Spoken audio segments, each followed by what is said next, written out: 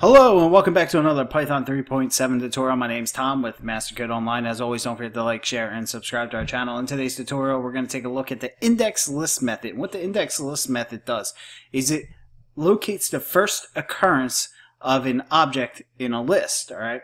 And it will return the index position to us. It also takes two optional arguments to start and stop so we can basically slice a certain section where we want the in index method to locate the object. So let's go ahead and get started with some examples. First thing we're going to do is create a list of numbers. So uh, let's start with zero. Zero, one, two, three, four, five, six, and seven. All right.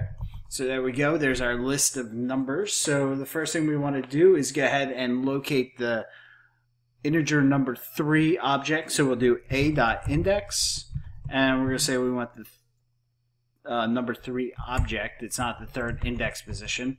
All right, so we get the third index position. All right, so we got zero, one, two, and 3. I did that to show you what actual index position it was, but it might be a little confusing because we're actually trying to get the third integer. All right, so let's take a look at another example. Let's go ahead and uh, take a look at A. This is going to represent a list, and we'll just say dog,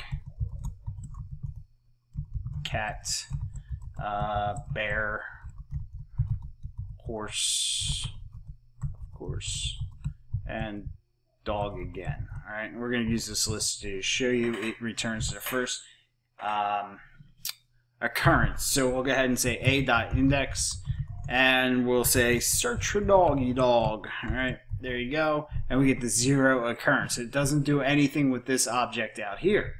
Now, if I went and said, hey, uh, let's go ahead and do, um, let's slice it. So we'll say uh, a dot index, and we'll say find dog, and we do uh, one and zero, one, two, three, four.